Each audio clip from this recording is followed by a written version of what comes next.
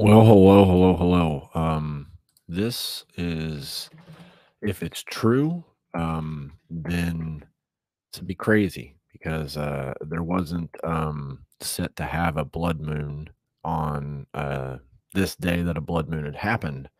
There was no um, n- no warning of it, no eclipse, no nothing.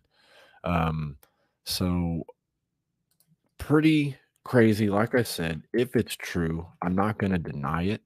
Um, I see that uh, this lady that I'm going to be sharing on here, uh, she is on a mission trip in Israel.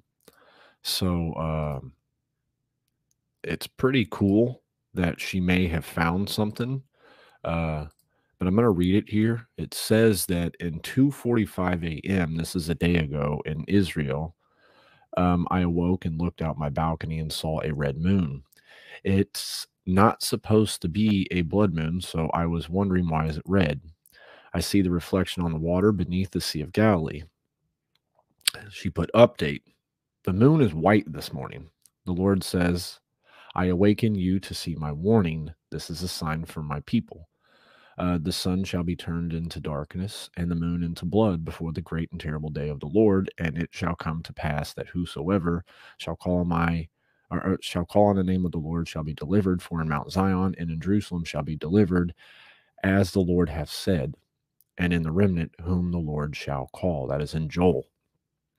So she had woken. This is the 14th. She had posted this and there was not set to be a blood moon. Um, so pretty cool that you see we see the red reflection here. And of course, this is the moon. Uh, somebody over here said they took about three weeks ago, they seen a random blood moon as well.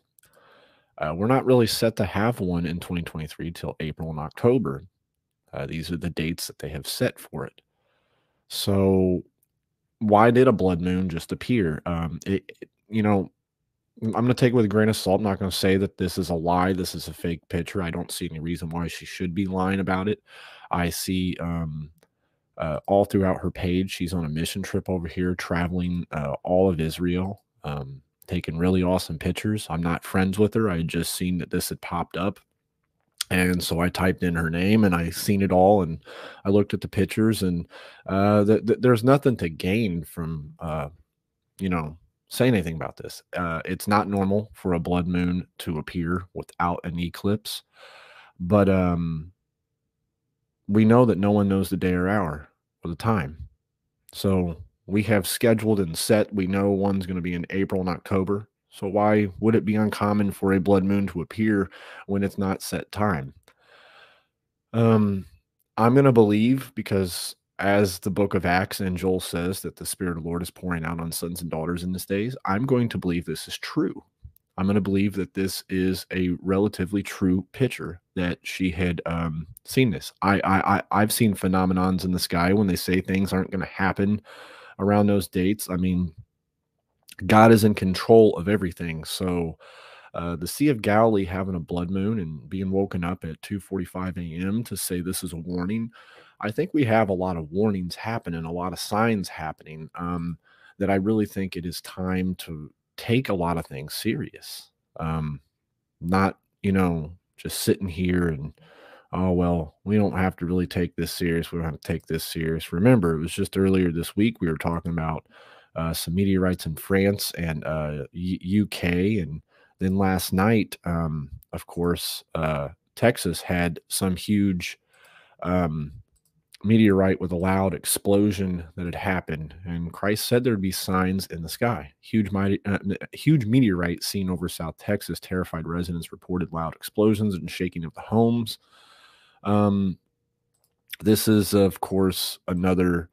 Uh, a, a, lot of people say, "Well, yeah, we, we, get these a lot. We do get a lot of meteors uh, throughout time, but um, for ways that they've been happening, and um, you know, just in general, how they've been popping up in certain locations, causing a lot of um, weird booms in the sky that people can't explain Um, I think this is a significant find that this lady was woken up and had seen a blood moon, and other people are saying that they seen their moon red.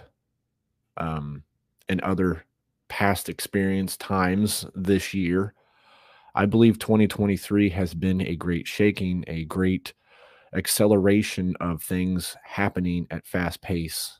And we're just seeing that we're only, what, 46 days into the year, and we have had um, probably the fastest pace starting of a year that I can ever say we've had. So, with that being said, may God bless you all. Um, you know, don't be alarmed by things. Uh, you know, rejoice in hope, patient tribulations, continuing instant in prayer, as Romans 12 says. Let's uh, you know, rejoice evermore, pray without ceasing, as First Thessalonians 5 says, uh, because God is worth it. And tonight we'll be talking about the first doom of Revelation, the great harlot, the mystery of Babylon. Uh, it's going to be a really uh, good study at 7 p.m. Eastern. Um, I, wish to would have seen more individuals come in for the Sermon on the Mount, but you know the day and time we're in, uh, people would rather hear news. People would rather hear chaos uh, than the Word of God. So you know, so be it. That's not uh, alarming to me. That is actually uh, kind of um, it just fulfills the prophecy of the Bible that people just will have a itching of an ear and not really want to hear sound doctrine. So um, come in for it tonight at 7 p.m. Eastern. It's going to be uh, through Revelation 17, uh, the great whore or uh, the great harlot, however you want to call it. But um, this was an interesting find the Sea of Galilee, a random blood moon, not scheduled to have a blood moon at that time. Uh, is it a warning? I think God is warning the world, and I think He's been warning us for the past three years and more that it is really time to get our houses in order. I really think 2020 should have been a great awakening for people to realize that we need to be steadfast in the faith and we need to move forward. We need to get rid of religious uh, ceremonies and practices, and we need to focus on following Christ and having unity. So may God bless you all.